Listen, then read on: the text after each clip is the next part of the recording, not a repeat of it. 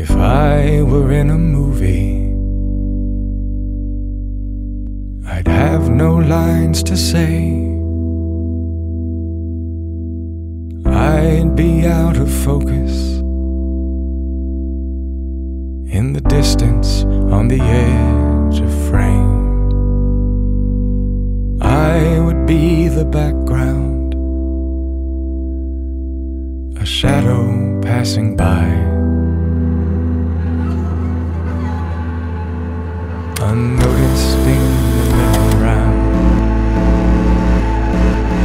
among the faceless crowd.